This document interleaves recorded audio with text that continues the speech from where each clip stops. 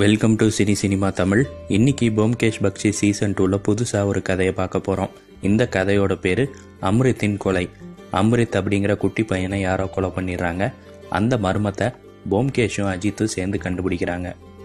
கல்கத்தாக்கு பக்கத்தில் ஒரு குட்டி கிராமத்தில் அம்ரித் அப்படிங்கிற பையன் தன்னோட நண்பர்கள் கிட்ட காட்டுக்குள்ளே இருக்க பேய் குதிரையை நான் பார்த்தேன்.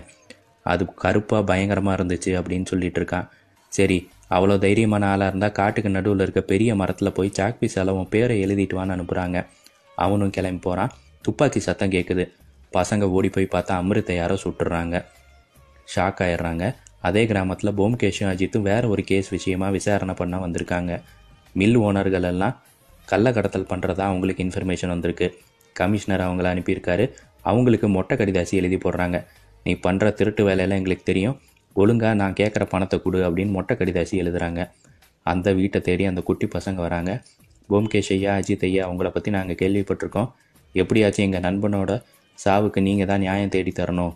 அநியாயமாக அவனை யாரோ கொண்டுட்டாங்க எப்படியாச்சும் கண்டுபிடிங்கன்னு நடந்த விஷயத்த சொல்கிறாங்க நிச்சயமாக கண்டுபிடிக்கிற சாயங்காலம் வந்துருங்க உங்கள் கூடயே நான் வரேன்னு சொல்கிறாரு அங்கே இன்ஸ்பெக்டர் வராரு. அவர்கிட்ட நடந்த விஷயத்தை எல்லாம் சொல்கிறாங்க ஆமாம் அந்த பையனோட பாடியை நாங்கள் போஸ்ட்மார்ட்டமுக்கு அனுப்பியிருக்கோம். ஈவினிங்காக சொல்கிறேன் அப்படின்ட்டு போகிறாரு சாயங்காலம் அந்த இடத்துக்கு போம்கேஷ் போய் பார்க்குறாரு சாக் பீஸ் இருக்குது அமிர்த் இறந்து கிடந்த மரத்தையும் பார்க்குறாரு அங்கே ஒரு வீடு இருக்குது அது யாரோட வீடுன்னு கேட்குறாரு சதானந்தன் ஒரு அண்ணன் இருந்தார். அவர் ஒரு வாரமாக ஊரில் இல்லைங்கிறாங்க. குதிரையோட கால் தடங்கள் காட்டுக்குள்ளே அங்கங்கே இருக்குது ஊர் மக்கள் விசாரித்தா யார்கிட்டேயுமே குதிரை இல்லை. ஊருக்கு போன சதானந்த் திரும்பி வராரு. பசங்கள்கிட்ட பேசிட்டு வீட்டுக்கு போய் கதவை திறந்ததுமே குண்டு வெடித்து இறந்து போயிடுறாரு. பதறி போய் எல்லாரும் ஓடி போய் பார்த்தா பீஸ் பீஸாக நொறுங்கியிருக்காரு. வீடே எரிஞ்சு போய் கிடக்குது. பார்த்தா கை குண்டு வீசியிருக்காங்க. கை குண்டை வீசியிருந்தா இங்கே ஆள் நம்ம கண்ணில் பட்டிருக்கணுமே அப்படின்னு யோசிக்கிறாங்க. வீட்டுக்குள்ளே போய் பார்த்தா ஒரு ஜன்னல் உடஞ்சிருக்கு. இப்போ எனக்கு புரிஞ்சிருச்சு அஜித். இதுக்கு பேர் தான் பூபி ட்ராப். வீட்டுக்குள்ளே பூந்து கதவை திறந்ததுமே கை குண்டு வெடிக்கிற மாதிரி அவன் செட் பண்ணியிருக்கான். இந்த கொலைக்கும் குட்டி பையன் அமிர்தோட கொலைக்கும் சம்மந்தம் இருக்குது வா போய் இன்ஸ்பெக்டரை பார்ப்போன்னு போய் பார்க்குறாங்க. இந்த சதானந்தோட சாவுக்கும் குட்டி பையன் அமிர்த் இறந்ததுக்கும் நிச்சயமாக ஏதோ ஒரு சம்மந்தம் இருக்குது அவனுக்கு விரித்த வலையில தான் இந்த அப்பாவி பையன் மாட்டி இறந்து போயிருக்கான். அவனுக்கு கண்டிப்பாக நான் நியாயம் கிடைக்கிற மாதிரி செய்வேன் அப்படின்னு போம்கேஸ் சொல்கிறாரு சரி கமிஷனர்கிட்ட பேசிக்கிறேன். உங்கள் இஷ்டம் போல் நீங்கள் பண்ணுங்கன்னு இன்ஸ்பெக்டர் சொல்லிடுறாரு. அஜித் தான் போட்ட மொட்டை கடிதாசியோட ரியாக்ஷன் எப்படி இருக்குன்னு தெரியல அப்படிங்கிறாரு. அப்பப்போ போய் மில் ஓனர் எல்லாம் வாட்ச் பண்ணிக்கோ. நிச்சயமாக நம்மள்ட்ட யாராச்சும் சிக்குவாங்க அப்படின்னு போம்கே சொல்கிறாரு அநியாயமாக அந்த குட்டி பையன் இறந்து போயிருக்கான். அவனுக்கு நிச்சயம் நம்ம நியாயம் வாங்கி தரணும் அப்படின்னு அஜித் சொல்கிறாரு பண்ணிடுவோம் நண்பா. டிடிஆர் வரட்டும். அவர்கிட்ட சில விஷயங்கள் நம்ம விசாரிக்கணும் அப்படின்னு சொல்லிட்டு இருக்காங்க. அப்போது அங்கே டிடிஆர் வராரு. ட்ரெயினில் எல்லோரும் போகிறதும் நீங்கள் வாட்ச் பண்ணுவீங்களா அப்படின்னு கேட்குறாங்க ஆமாம் நீங்கள் யாரை கேட்க வரீங்கன்னு எனக்கு புரியுது. சதானந்த் ரொம்ப நல்ல ஒரு சின்ன சின்ன புரோக்கர் வேலையெல்லாம் செஞ்சுட்டு அவருக்கு ஒரே ஒரு அக்கா தான். அவங்க கல்கத்தாவில் இருக்காங்க. போன வாரம் அவங்கள பார்க்க போயிட்டு நேற்று தான் வந்தார். அநியாயமாக வந்ததுமே இறந்துட்டாரு அப்படிங்கிறாரு. இன்ஸ்பெக்டர் அங்கே வந்து போஸ்ட்மார்ட்டம் ரிப்போர்ட்டை கொடுத்துட்டு இங்கே பாருங்கள் இது நம்ம ஊர் துப்பாக்கி இல்லை இது வெள்ளைக்கார துப்பாக்கி. இதால் தான் அந்த சின்ன பையனை சுட்டிருக்காங்க அப்படின்னு சொல்கிறாரு சரி இந்த ஊரில் யார் யார் குதிரை வச்சுருக்காங்க அப்படின்னு கேட்குறாரு அது நிறையா சேட்டெல்லாம் வச்சுருக்குறாங்க நீங்கள் விசாரிச்சுக்கோங்கங்கிறாரு. விஸ்வநாதன் ஒரு பெரிய சேட்டுக்கிட்ட போகிறாங்க அவர் ஒரு மில் ஓனர் அவருடைய கணக்கு புள்ள அவர்கிட்ட எக்கச்சக்கமான குதிரை இருக்கிறதா சொல்கிறாரு கருப்பு குதிரை இருக்கான்னு கேட்குறாங்க கருப்பு கலர் எங்கள்கிட்ட இல்லையே வெள்ளை கோல்டன் கலர்லாம் இருக்குது.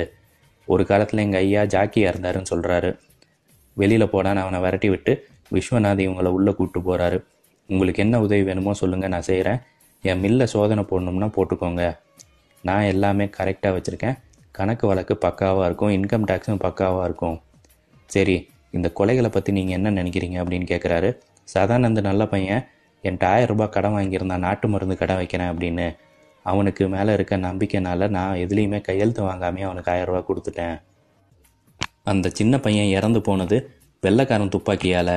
அப்படிப்பட்ட துப்பாக்கியை இங்கே யார் விற்க செய்கிறா அவங்கெல்லாம் நம்ம நாட்டை விட்டு போய் ரொம்ப வருஷம் ஆயிடுச்சு பத்து வருஷத்துக்கு அப்புறமும் இன்னும் அந்த ஆயுதங்கள்லாம் இங்கேயா இருக்குது அப்படின்னு கேட்குறாரு அதை பற்றி எனக்கு எதுவும் தெரியலிங்க. நான் வந்து குதிரை மேன் குதிரை பற்றி எது வேணாலும் கேளுங்க அப்படிங்கிறாரு. சரி இந்த ஊரில் ஆயுதங்களை மறைச்சி வைக்கணுன்னா எங்கே வைப்பாங்க அப்படின்னு போம்கேஷ் கேட்குறாரு இவ்வளோ பெரிய காடு இருக்கே. இங்கே எங்கே வேணாலும் தோண்டி மறைச்சி வச்சிடலாம் எப்போ வேணாலும் வாங்க. சோதனை போடணும்னா எப்போ வேணாலும் பார்த்துக்கோங்க அப்படிங்கிறாரு. சரி தேவைப்பட்டால் நான் வரேன். இப்போதைக்கு நாங்கள் சோதனை போடலை. இங்கே ஒரு சேட் இருக்காரு அவரை பார்க்க போகிறோன்னு போய் அவர்கிட்ட உங்கள்கிட்ட கருப்பு குதிரை இருக்கா அப்படின்னு கேட்குறாங்க ஆமாம் இருக்குது அதனால் என்ன அப்படின்னு கேட்குறாரு அவர் இடக்கு முடக்காவே பதில் சொல்கிறாரு வெளியில் போனது அவர் மில்லில் வேலை செய்கிற ஆள். அவன் ஒரு அயோக்கியம் அவனை விட்டுறாதீங்கன்னு கத்திட்டு இருக்காரு. அஜித் யோசிச்சுட்டே போகிறாரு அடுத்த நாள் ட்ரெயினில் கிளம்பி கல்கத்தா போகலாம் அப்படின்னு முடிவு பண்ணுறாங்க ஸ்டேஷனில் இன்ஸ்பெக்டரை பார்க்குறாங்க எங்கே போகிறீங்கன்னு கேட்குறப்போ சதானந்தோட அக்கா வீட்டுக்கு போகிறோனுங்கிறாங்க இவங்களை பார்த்ததுமே அந்த சேட்டு அங்கேருந்து ஓடி போயிடுறாரு. விஸ்வநாத் அங்கே வராரு. ட்ரெயினில் எனக்கு கொஞ்சம் சரக்கு வருது அதுதான் இங்கே வந்தேன் அப்படிங்கிறாரு. ட்ரெயினில் ஏறி போகிறப்போ திடீர்னு போம்கேஷ் நான் அடுத்த ஸ்டேஷனில் இறங்கிக்கிறேன். நீ மட்டும் கல்கட்டா போயிட்டு வா நண்பா அப்படின்னு சொல்லி இறங்கிட்டு ராத்திரி காட்டுக்குள்ளே போய் பதுங்கிக்கிறாங்க. சின்ன பசங்களையெல்லாம் கூட்டிகிட்டு போய் ஒவ்வொரு இடமா ஒழிச்சு வைக்கிறாரு. திடீர்னு குதிரை மேலே ஒரு ஆள் வரான். அவன் வரதை எல்லாருமே வாட்ச் பண்ணுறாங்க சைலண்ட்டாக வந்து மரத்து மேலே ஒழிச்சு வச்சிருக்க ஆயுதங்களை எடுத்துகிட்டு போகிறான் அப்போது நிச்சயமாக அது எங்கே போகுதுன்னு வாட்ச் பண்ணியிருப்பீங்கள எங்கே போச்சு அப்படின்னு குட்டி பையன்கிட்ட கேட்குறாங்க காலையில் விஸ்வநாத் மார்வாடியை பார்க்க போகிறாங்க நல்லா சாப்பிடுங்க அடுத்த வேளை சாப்பாடு உங்களுக்கு ஜெயிலில் தான். காட்டுக்குள்ளே நீங்கள் மரத்து மேலே பதுக்கி வச்சுருக்க ஆயுதங்களை எடுக்கிறத நேற்று ராத்திரியை நான் பார்த்துட்டேன் அப்படிங்கிறாரு. முடிஞ்ச என் மேலே கை வைடா பார்ப்போம் அப்படிங்கிறாரு. தேவையில்ல இன்ஸ்பெக்டர் வந்துட்டார் அவர் பார்த்துக்குவாரு அப்படிங்கிறாங்க. வீட்டை சோதனை போட்டால் பயங்கரமான குண்டுகள் ஆயுதங்கள் எல்லாமே இருக்குது அவரை பிடிச்சிட்டு போய் உள்ளே வச்சிடுறாங்க. சாயங்காலம் அந்த பசங்க கிட்ட இந்த கேஸ் எப்படி முடித்தேன் அப்படின்னு டீட்டெயிலாக அவர் சொல்கிறாரு குட்டி பசங்களா உங்களை நாலு பேர்த்த ஊர் எல்லையில் உட்கார வச்சேன். அப்போது நீங்கள் தான் வாட்ச் பண்ணி எனக்கு இந்த கேஸை முடிக்கிறதுக்கு ஹெல்ப் பண்ணீங்க. அப்படியா சார் எப்படி? அப்படின்னு கேட்குறானுங்க குதிரை விஸ்வநாத்தோட மில்லுடைய பேக் கேட் வழியாக உள்ளே போனதை நீங்கள் பார்த்து சொன்னீங்க. முதல்ல எனக்கு அந்த ஆள் மேலே சந்தேகம் தான் ஏன்னா அவன் குதிரை ஜாக்கியாக இருந்தான். எங்கே இடிச்சுதுன்னா அவன்கிட்ட கருப்பு குதிரை இல்லை அப்படிங்கிறது தான் அப்புறம் தான் தெரிஞ்சுது மறைச்சு வச்சு கருப்பு கலரில் ஒரு குதிரையை அவன் வளர்த்துருக்கான். இவன் கள்ளக்கடத்தல் பண்ணுறது சதானந்துக்கு தெரிஞ்சிருக்கு. அதனால தான் அந்த ஆளையும் கொண்டிருக்கான் விஸ்வநாதன் கள்ளக்கடத்தல் பண்ணுறது தெரிய வந்ததுமே சதானந்த் அவனை ஏமாற்றி எக்கச்சக்கமாக பணம் வாங்க ஆரம்பிச்சிருக்கான். கொஞ்சம் கொஞ்சமாக அது மிரட்டலாக மாறி இருக்கு அப்படியே பிளாக்மெயிலை கண்டினியூ பண்ணியிருக்கான். ஆயிரக்கணக்கில் பணத்தை வாங்கியிருக்கான். என்ன பண்ணுறதுன்னு புரியாமல் தான் அவனை கொலை பண்ணிடலான்னு இந்த ஆள் ட்ரை பண்ணியிருக்காரு.